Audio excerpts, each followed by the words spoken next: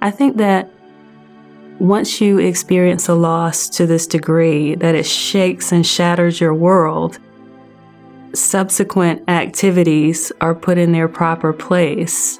They're just not that serious.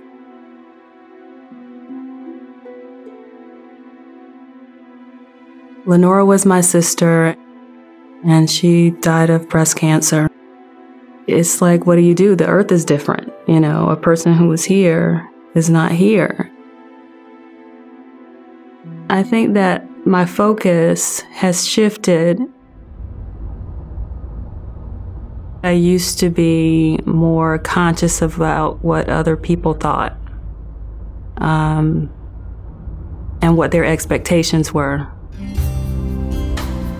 I realized that life is too short to be concerned about other people's expectations, and I'm more focused on what it is that God has for me to do.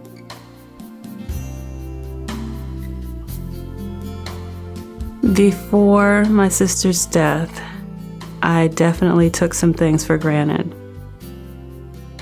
I took for granted the fact that life is temporary. And, you know, as we go about our days, mediocrity, you know, is, is very easy to settle into.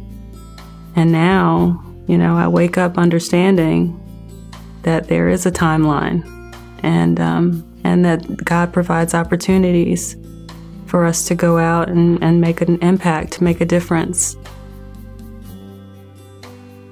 GriefShare is a support group open to men and women dealing with the death of a loved one.